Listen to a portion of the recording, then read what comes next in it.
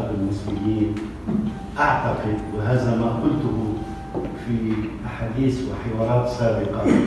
أعتقد أن مصر رغم كل مشاكل الشعب المصري الحديث وهي مشاكل الشعب العربي الحديث أعتقد أنها تعيش إحدى لحظاتها الأكثر حيوية وزخما في إنتاج الشعر وخاصة في السجال حوله وفي نقله سأقرأ قصيدة.